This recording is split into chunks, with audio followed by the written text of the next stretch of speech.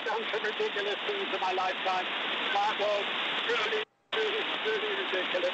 I just can't wait for whoever one day to be able to experience it. It's a complete experience of a lifetime.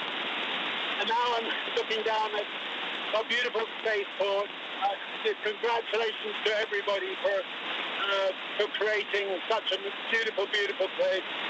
Congratulations to all our wonderful team at Virgin Galactic for 17 years of hard, hard work to get us this far.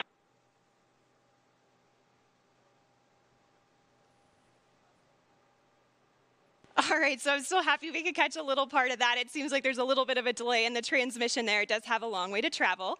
Um, but you could tell by the smiles on their faces, they just had the ride of their lives. We are so excited for them to land and party the rest of the day with like astronauts in the typical Virgin fashion.